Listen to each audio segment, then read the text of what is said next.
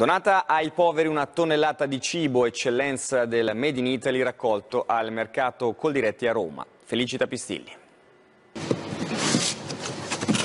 Sono tutti quanti barattoli di marmellate, questo è eh, pera selvatica e mirto, quindi una cosa estremamente raffinata. Ci sono tutte le eccellenze del Made in Italy in questi scatoloni donati a Caritas e comunità di Sant'Egidio. Ci sono i salumi umbri, le conserve, la pasta dei migliori grani italiani, 1500 kg di prodotti comprati per gli altri da chi lo scorso weekend ha visitato il mercato di Coldiretti a Roma. 300 stand che prima di chiudere hanno consegnato alle due associazioni questo enorme acquisto solidale. L'hanno chiamata spesa sospesa sulla scia del caffè sospeso, tradizionale tradizione napoletana di lasciare al bar un caffè pagato per chi non può permetterselo. Gli stessi produttori hanno donato l'invenduto, i volontari lo daranno in beneficenza.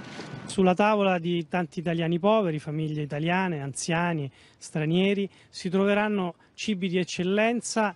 Tutte cose che solitamente non si trovano nei pacchi solidali, alcuni esempi di generosità, carne di prima scelta già destinata alla mensa del carcere romano di Rebibbia, tanta frutta e verdura, olio d'oliva come questo, prezzo al pubblico 24 euro al litro. Ha qualche cosa di buono, ha qualche cosa di, di privilegiato ed è molto importante perché